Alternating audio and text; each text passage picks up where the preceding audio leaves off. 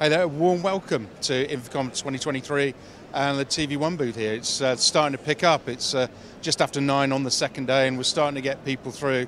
Uh, before I start doing presentations this area later, I want to show you our hybrid workflows. One of the big issues is as we've come out of uh, the lockdown kind of state and we're now back at work, back at study, uh, is we have colleagues that are not always in the room with us. And there's a thing called meeting equity, uh, where the viewers at home don't really feel part of the meeting. All they're getting is a Teams feed, maybe a screen share.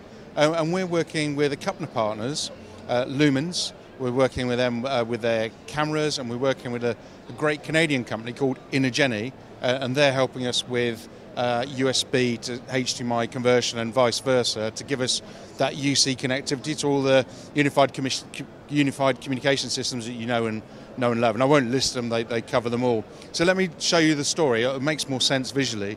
So at the moment, you can see I've got three screens here. So this is this. Imagine this is the screen in your lecture theatre or in your boardroom. Uh, I've got this screen here. This will be wouldn't sat be here in normal life. It would be sat opposite me. So this is my confidence monitor, and then this is my Teams screen. Like I said, it could be any UC, but here we're showing a Teams environment. And at the moment, both viewers, in room and online, can see the holding screen. So well, I'm going to start the lecture. I'm going to be a groovy professor, and we'll go to uh, this state. And now, if I stand by the screen, you see in room, they get in the view of me as their normal professor, but online I can interact uh, with what's going on. Of course, I want to maybe put a PowerPoint up. So I've now got my PowerPoint up, I'm now uh, working across. So th this is the, the, the, the, idea, just making people feel more involved. Um, and the, the magic behind this is uh, using this device here. And this is a CORIOmaster micro. This is half width 1RU.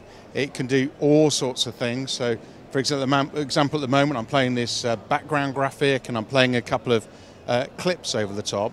And it's got this really neat little control panel uh, sat in the front, so I can easily control. Of course, in real life, you might want to use a control system, system something like uh, Q-SYS, Crestron, AMX.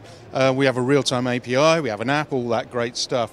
And the other thing, as well as like this interaction that people want, is more of a, I call it a televisual experience. So how about this? If I fire to another preset, at the moment I've got two windows, and I'm going to animate this one. If it's already showing online, but in the room, I want for it to zoom up. So if I push this, it zooms up. So that gives a much nicer visual appeal.